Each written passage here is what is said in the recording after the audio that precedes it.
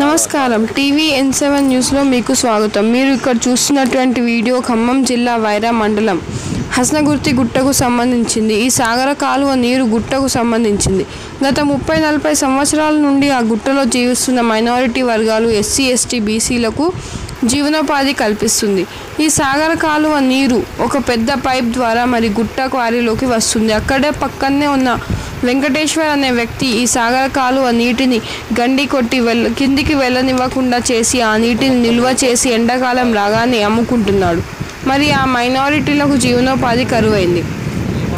తెలంగాణ ప్రభుత్వం కేసీఆర్ గారు నిరుపేదల కోసం వారి యొక్క జీవనోపాధి మెరుగుపరిచేందుకు అనేక సంక్షేమ పథకాలు ప్రవేశపెడుతున్నటువంటి క్రమంలో ఈరోజు అక్కడ ఉన్నటువంటి అధికారులు కానీ ఎమ్మెల్యేస్ కానీ ఆ సమస్య మీద ఎన్నిసార్లు వినతి పత్రం అందించినా స్పందించలేదని వారి ఆ సమస్యను మీడియా ద్వారా సీఎం గారి దృష్టికి తీసుకెళ్ళి ఈ సమస్యను పరిష్కరించేందుకు పరిష్కరించాలని కోరుకుంటున్నాం. ధన్యవాదాలు.